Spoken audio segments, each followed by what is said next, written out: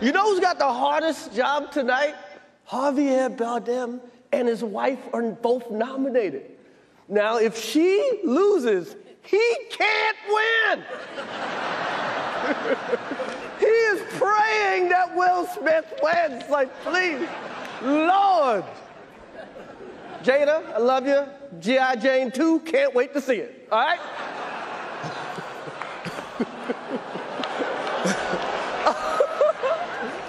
that, was a, that was a nice one. Okay. I'm out here. Uh oh, Richard. oh, wow. Wow. Will Smith just smacked the shit out of me.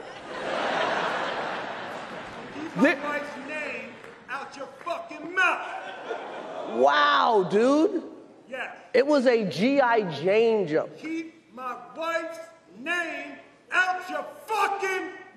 I'm going to, okay? I could, oh, okay.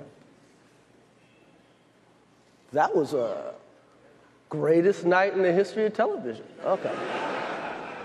Okay.